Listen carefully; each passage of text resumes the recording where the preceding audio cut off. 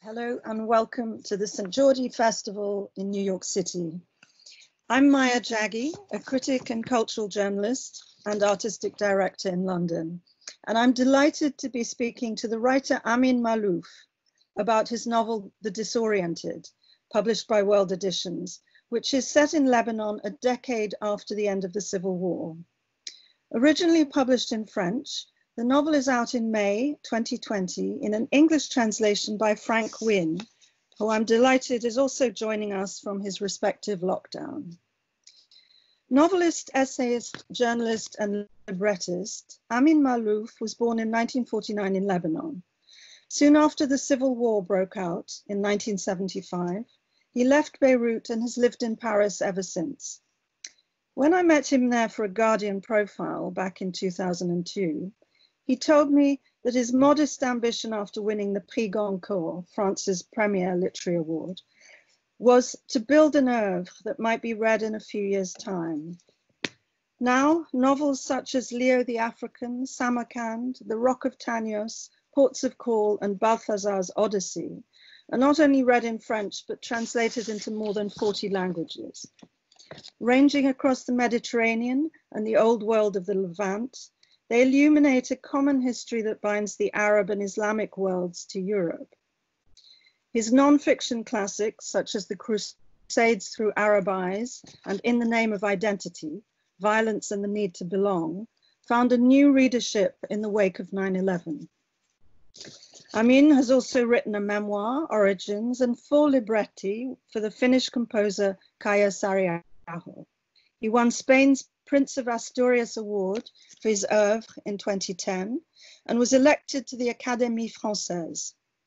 This past February, very shortly before social distancing began, President Macron embraced him at the Elysee Palace in Paris to award him France's National Order of Merit for building bridges between East and West. Frank Wynne was born in Ireland, lives in London, and has been translating from French and Spanish since the 1990s. His translation of Jean Baptiste Del Amo's novel Animalia has just won the Republic of Consciousness Prize, the latest of many awards for his work. These include the International Dublin Literary Award for Michel Houellebecq's Atomized, the Independent Foreign Fiction Prize, the Path-Breaking Award for Fiction translated into English for Frédéric Beigbeder's Windows on the World, the Scott Moncrieff Prize and the Premio Valle Inclán. He's also translated Ahmadou Kourouma, Boualem Sansal, Claude Lanzmann, Thomas Eloy Martinez, Almudena Grandes, and Thomas Gonzalez, among many others. And in 2018, edited the anthology Found in Translation. Before we talk about the novel, I'd like very briefly to ask you both where you are now and what, what your experience has been of lockdown. Could I start with you, Amin? I'm in Paris. Mm-hmm. I've been in my apartment. In fact, I didn't leave it even once for the last uh, four weeks. Uh, I don't suffer much from it. I suffer from being worried, for my mother and other people who might be at risk. But I, I enjoy part of the confinement because I work every day uh, as I used to work and even better than before. Mm. So uh, I, I don't know uh, how long it will take uh, still, probably another month. We don't, no one knows at this point. Um, Frank, how about you? Where are you? Well, I started um, the beginnings of lockdown in Vietnam, where I was spending the winter, and then raced home before, well, raced back to London before everything was shut down. So I literally made the last flight through Kuala Lumpur before Malaysia closed everything. Um, so I'm now in North London uh, and um, I'm isolating with um, a friend of mine. Um, like, I mean, because I'm, I've been working as a translator full time for 20 years, so I'm used to working on my own and being at home a lot of the time. My main problem is that now that everybody is working from home, they're annoying me. because they, they don't understand how to work at home. but no, it's um, it's mostly worry about about others. I have a friend who has COVID at the moment, is in hospital uh, and seems to be improving. Uh, but then I also worry about my mother, who's in her 90s, and you know my sister, who's a nurse, and you know it's mm. these are very strange times. Terrifying times. Um, well, onto the we'll come back to that, I think, but onto the novel, The Disoriented, um, which was published by World Editions and spans 16 days as Adam, a historian in Paris, returns to the bedside of a dying former friend in his homeland of Lebanon. But he arrives too late, and instead he humors his widow by arranging a reunion of their circle of friends from university days who were scattered by the Civil War. Yet, as the friends meet up in a hotel in the mountains outside Beirut and, and other locations, relating their lives over meze and champagne or arak, an affair blossoms Old grudges surface and bitterness erupts between those who stayed and those who left, while their fates seem to mirror the wider history of the region. I mean, you've always written in a variety of forms, but The Disoriented, first published in 2012, was your first novel in more than 10 years, and it also followed a memoir that you'd written in 2008, Origins. Now, you're mostly known for historical fiction, books about the fall of Granada, Omar Khayyam, and so on. What made you return to fiction set in the recent past after Lebanon's civil war? And was that a subject you had avoided before? In fact, I had avoided it because I, I didn't feel I was ready yet to talk about my own life even now, I'm not completely ready. That's why I talk about it through uh, fiction. Mm. Uh, but uh, I would say that from the moment I began to write more than 40 years ago, I thought that one day I would talk about my university years. And that was uh, the moment in uh, I felt I had to to uh, uh, to talk about it indirectly, in fact, because this novel is is set up in uh, my university years in the city I uh, uh, I uh, spent my youth, and I I felt that the moment was uh, ready for me. Uh, uh, origin was something different, but maybe it paved the way for this work. Origin was based on uh, documents about my family, and it brought me back to Lebanon because I, I um, most of my writings was away from Lebanon or uh, going around Lebanon without going there directly. And uh, maybe through origin, I came back more directly to, to my own uh, country and to my own life. Mm-hmm. And Frank, was was this your first novel of Amin's that you translated? Um, and did you find it different in, in form and texture to um, mean historical novels because it's set very recently? Um, it's the first of his novels that I've translated. I actually read it when it was published in uh, 2012. And I then spent several years trying to persuade a variety of editors that someone somewhere desperately needed to publish this book. It is, there are similarities um, in terms of the way that Amin uses language to his earlier novels. But one of the things that I thought was very important about this book is it is the first time that he, admittedly as a fictional character, goes home uh, since he left in the 1970s. And there is something enormously poignant in that. And there is clearly also a reluctance in it. In fact, you've both talked about this book as being set in Lebanon. Lebanon is never mentioned in this book. Beirut is never mentioned in this book. No place, na- well, there are a few place names mentioned. There is a small church, there is an old monastery. But mm-hmm. in fact, he is going home, but still cannot bring himself somehow uh, to say that this is home. And of course, part of what I think is extraordinary about this book it is about where home is, uh, whether it is where you currently live or where you have adopted, uh, or where it is where you grew up, um, and also the the sense between all of the friends um, whom we can judge or not judge as we choose, that the decision that they made was the right one. Mm. Which applies um, to so many people who've been displaced for whatever reason um, all over the world. Now, the title, The Disoriented, might suggest displacement, emigration, um, also disoriented, being wrenched from the East. But there's also a nostalgia throughout the, the book, um, not only for a lost country or a country that's changed and been lost, but also for, for youth, for idealism. I mean, there's, a, there's that that's universal about it.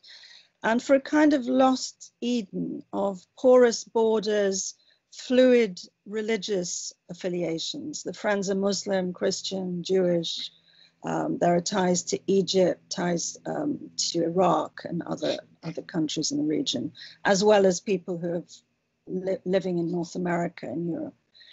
Um, I wonder, I mean, if you could tell us a little about your own um, background, your family, and how that influenced your own view of, of religion, your own complex view of, of identity and of the region where, where you grew up. Well, Lebanon, as uh, you know, is a country of many communities, which is both a blessing and a curse. It's a blessing when those communities are uh, able to live together and uh, uh share a lot of things, and it becomes a curse when they cannot live in peace together and uh, uh, I've I've seen both both moments. There was a moment. It was not flawless, but it, there was a moment where communities were able to live together, and uh, it was a beautiful moment for for the country, for that part of the world, the Levant. And then I I was witness to to the, the moment where everything was shattered and uh, uh, and I cannot uh, but feel that what happened in that small country, which is my country of uh, origin, has also, in a way, happened for the whole world. Uh, I think uh, the, this idea of communities who are not able anymore to live together and who, who, who fight all the time and who use violence to assert their identity. Uh, this is the, the history of the 30 or 40 years we have spent. Uh, and uh, I, I, of course, uh, as Frank was saying, I, I feel nostalgia for a country which is no more the one I knew, but I also I feel nostalgia for the world which has gone in a direction which I uh, didn't uh, wish for. I, I hoped for something completely different. I hoped for a world that would open and uh, for this globalization to be really a, a feast, a, a, a, huge, a huge moment of of uh, sharing everything, and and it's turning into a nightmare. You know, where, where we pe people uh, can uh, no more really live together completely. The, the, the tensions are heightened. The, the, the, everybody asserts one's identity with, uh, with uh, aggressivity. And, uh, and now, with, with what's happening today, we feel that uh, uh, we we are disoriented not not mm-hmm. only people who came from the orient i think mm. our our humankind is disoriented today and i I feel that all all what I dreamt of in my youth is has been shattered. Mm. And Frank, one of the things, one of these fluidities for which there's a, a kind of nostalgia or the, a, an ease in this milieu that's recreated, is a multilingualism. That these characters move between Arabic, French, and English with ease, and they're always switching and deciding in any gathering which language they should be mm-hmm. speaking. Now that probably you live like that, and and some people do, but is not something um, general. Um, can you tell us a bit about how you approach the novel in terms of the languages, because you signal sometimes which languages uh, people are speaking, and is there a difference in in I mean French uh, when he's he's characterizing people speaking in Arabic, or how how does that work? Um, there are small markers here and there where actually even before he tells me, I can tell what language the character is speaking because there is a there is a there is a difference in register between um, um, how people will speak to each other in French than how they will speak to each other in Arabic, and you try in translating to bring something of that without bringing so much that it just begins to feel stilted. Um, it's a very difficult thing to to indicate. Um, because um, people who move between languages generally, I mean, if, if you are among a group of people who speak different languages and you happen to speak some of them, not only does the way in which you speak or the register in which you speak change, but, and this sounds a bit bizarre, you are a slightly different person in every language. Um, I I gesture much more when I use French. I use uh, I am much more sing-songy when I speak Spanish. Uh, I am um, all of these things are are not things that I've chosen to do. They're just when I was living in this place at this time. This is who I was, and this is who I am in that language. And it's it's a very difficult thing um, to to capture that fluidity.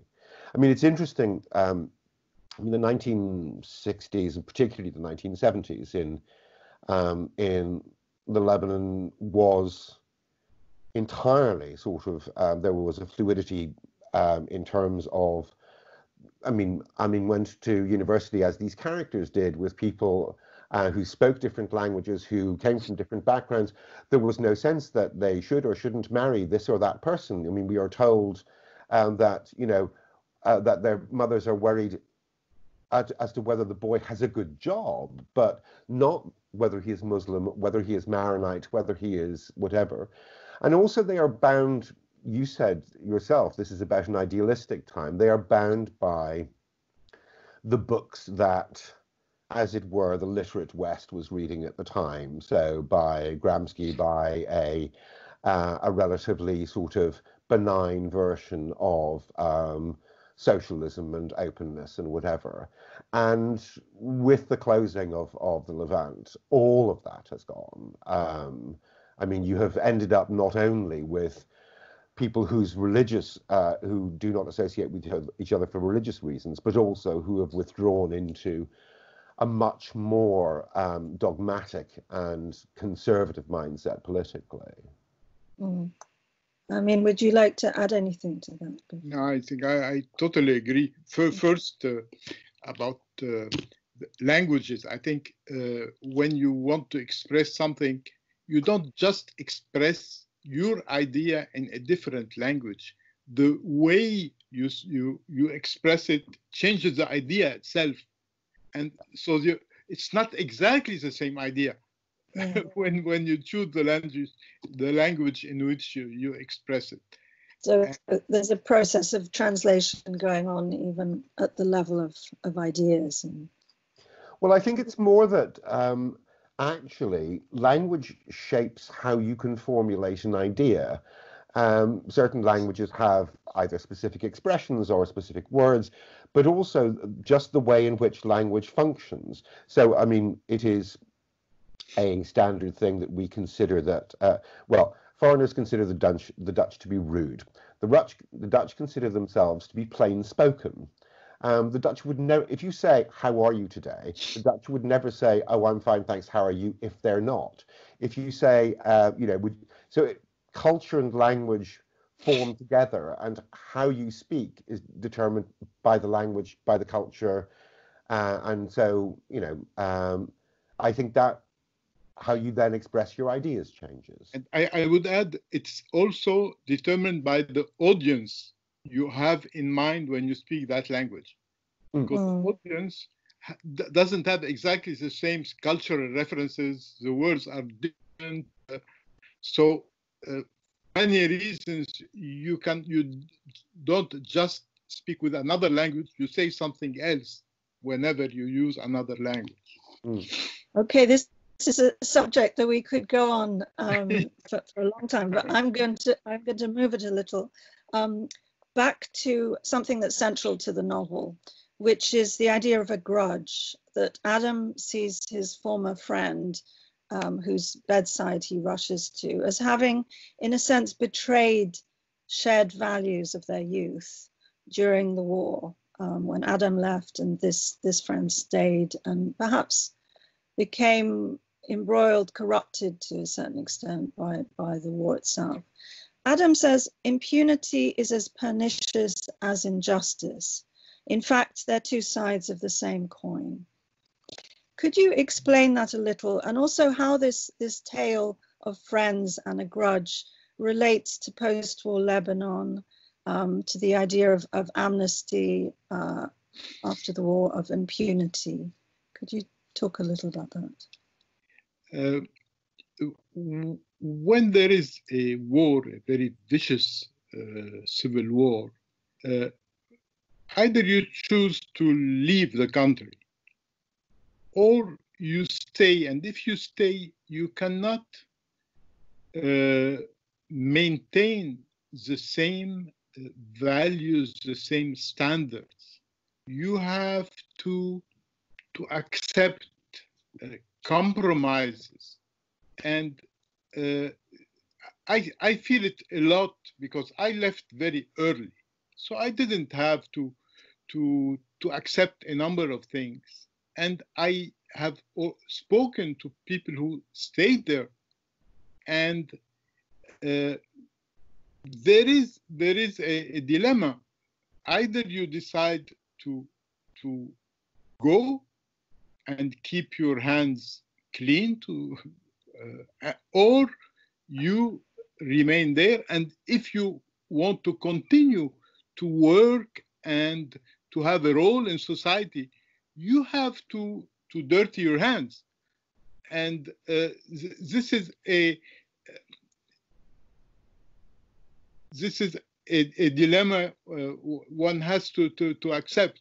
And uh, uh, it's I, I, know that it's easy when, when you have left uh, at the beginning of the war to to to to say that you you were not you were not involved in any kind of uh, violence or uh, and uh, the idea that impunity is uh, also partly injustice I, I feel it very strongly because uh,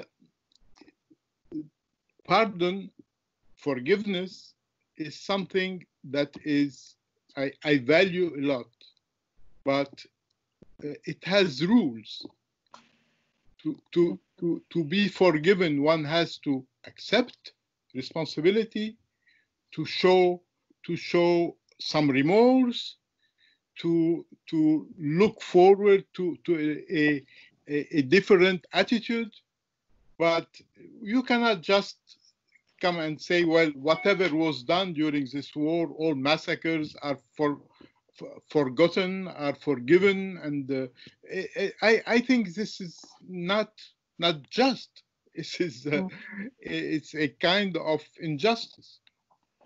Oh, I just um, wondered if you would like to say anything about the recent um, protests in, in Lebanon. Um, before the default on the debt, before the coronavirus, there, there was a, a kind of revolution in, in October. Um, one of the reasons people were out on the street was to say this is should be the end of the civil war and that the um, people in power who remain in some cases warlords from that era should go. So it was a movement against, in some ways, impunity. Could could you say a little uh, about your view of that period um, and also how it relates to the Civil War period?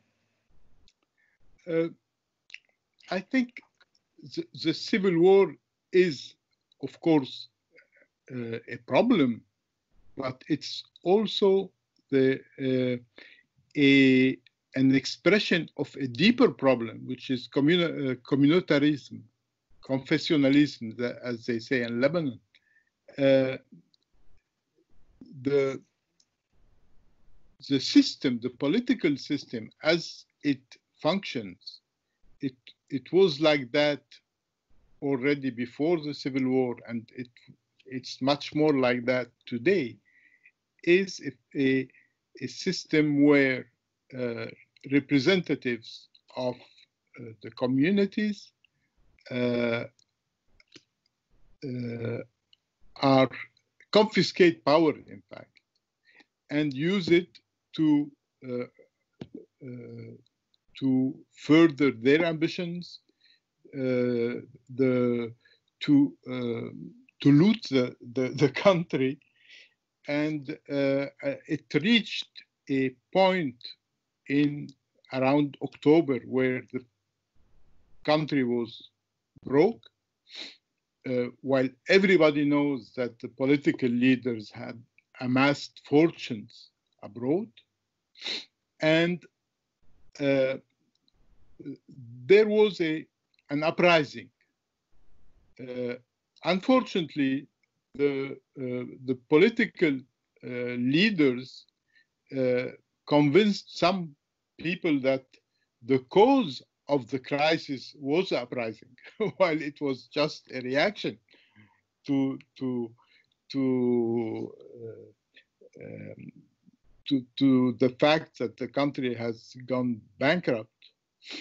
And then came the the confinement, which made any street pro, uh, protest unthinkable. So, so today, I, I don't know to seem too pessimistic, but you have a country which has defaulted on payments, a, a population which is convinced that it, uh, uh it's uh, uh, led by people it cannot trust, but yet no no protest is possible and no other political system is inside. So it's it's a very very uh, uh, sad moment in the history of the country, and uh, I cannot uh, help remembering what it was before before the war, what were the ambitions, what were the hopes, the quality of of hospitals, of universities. It, it was it was a thriving uh, country, and now it's diminished in uh, every respect. Mm. Maya, can I just come in on, on two things? One um, about um, the novel and how it deals with uh, impunity. That possibly the best counter attack to Adam's statement is made by Murad's widow, Tania. Um, and she is the one who feels most bitter. She feels that Adam has lived, you know, in a perfectly nice flat somewhere. He doesn't come home for holidays. He goes to the south of France and he is judging from afar difficult decisions that had to be made. Now, it seems in the novel that Murad's decisions may well have been suspect, but her attitude is it's all very well when your hands are clean uh, to look down on everyone else. It is we who stayed who are fighting to create a country. Um, those of you who left don't get to judge that. And she, I suppose, what I really like about the novel is that the individual friends have very different viewpoints both on the time they shared together and on the time they've been apart. And it allows for a, a proper exploration of um, how easy it is to simply assign responsibility and, and effectively say, it wasn't my fault, it was someone else's. But the other thing with, with impunity, I was translating um, a novel by uh, Javier Cercas, and he frequently returns to the period uh, the just after the death of Franco and the effective mass pardoning of everyone. And when he talks about it, he says um, that he feels that while impunity is wrong, if people had been held to account at that time, there would have been no transition from Franco Spain to a democracy. It's, it would simply have gone down into an ongoing series of grudges of who was to blame. And therefore, what has happened, and in fact, his novels are part and parcel of it, is there was a national forgetting, which lasted about 20 years. And it is only the children of that generation who are now beginning to talk about um, the terrible things that happened um, during um, the Franco regime in, in, in, Spain. I mean, do you think, I mean, that there will have to be, that if for peace to be possible, that um, there will have to be that kind of national forgetting? No, uh, uh, very interesting what you're saying. Uh, what happened in Spain is that they went from the Franco uh, dictatorship to mm-hmm. an open country, democratic, uh, part of the uh, European Union. So uh, they they woke up in a completely different world, and it was a, a healthy reaction to say, okay, we're not stopping to look behind us and punish those who had done this or that. We are taking advantage of the new reality, and it's it's marvelous. Uh, it, it did not happen in many countries. In Lebanon, you, you, you're not in a post no a post communitarism. Uh, Lebanon, not really in a post war Lebanon. The, the, the people who are in charge are still in charge the country is ruined. It's part of nothing. It's not part of, of a, a European Union. When it's broke, it's not like Greece. Nobody will, will, will come and, and save. No mom will come and save the child from uh, from what's happening to to to him. So uh, Lebanon can cannot just forget and move on because uh, he doesn't know where to move. We're not. We're going nowhere today. We're in, a, in, in an area of the world which is uh, one of the most violent. There is no no kind no no peace, no no no no cooperation between the countries. It's going. Uh, uh, uh it's it's not moving. It's not developing. It's it's probably the area of the world which is not at all moving like Asia is moving. Europe uh, has different problem, but it's uh, it's a developed part of the world. The, the Middle East is stuck. It's going nowhere. So uh, you, uh, it's not enough for Lebanon to to to to to just to forget. I, and in fact, writers, um, including yourself, looking historically at the, the region, have been part of a movement to remember in some ways and been repositories of, of memory. And one of the things that I, I love about this novel is that it's full of moral dilemmas, as, as Frank was saying, people, different ways of looking at the same conundrums and philosophical uh, debates, which are almost parables. It's full of fables.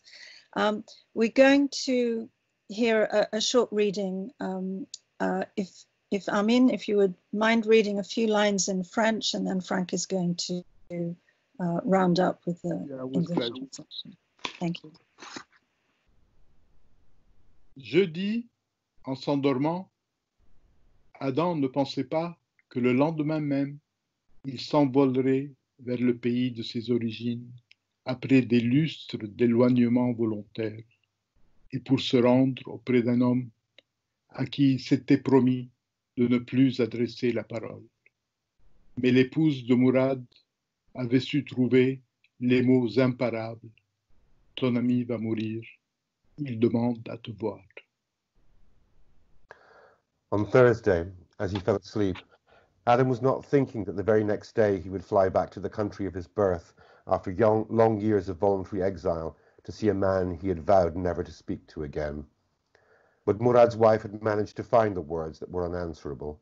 Your friend is dying. He is asking to see you. The telephone had rung at 5 a.m. Adam had blindly fumbled for the receiver, pressed one of the blacklit buttons, and answered, No, no, honestly, I wasn't asleep, or some comparable lie. The woman on the other end of the line had said, I'll put him on. He'd had to hold his breath to listen to the dying man, and even then he had intuited rather than heard the words. The distant voice was like a rustle of fabric. Two or three times Adam had to say, Sure, and I understand, though he did not understand and was not sure of anything. When the other man had fallen silent, he had ventured a cautious goodbye. He had kept his ear pressed to the receiver for a few seconds, in case the man's wife came back on the line. Only then had he hung up. He had turned to his partner, Dolores, who had turned on the light and sat up in bed, leaning against the wall. She gave the impression that she was weighing the pros and cons, but her mind was already made up. Your friend is going to die. He called you. You can't wait around. You have to go. My friend? What friend? We haven't spoken to each other in 20 years. In fact, for many years, whatever Murad's name came up and Adam was asked whether he knew him, he invariably responded, he's a former friend. Often the people he was speaking to assumed he meant an old friend, but Adam did not choose words lightly. He and Murad had been friends. They had ceased to be friends. From his point of view, former friend was, therefore, the only fitting formulation. Usually, when he used the expression in front of her, Dolores would simply smile sympathetically, but that morning she had not smiled. If I fell out with my sister tomorrow, would she suddenly be my former sister, or my brother my former brother? Family is different. You don't get to choose. You don't get to choose in this case either.